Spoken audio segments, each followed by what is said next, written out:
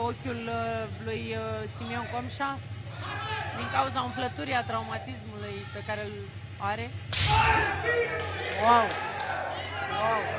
I-a dat Prezintă dureri la cap și ochi, spune că a ricoșat prea tare. A ricoșat, a ricoșat, da. Deci palmă, dar nu știu, că e regulamentar să-i dea și acolo până la urmă.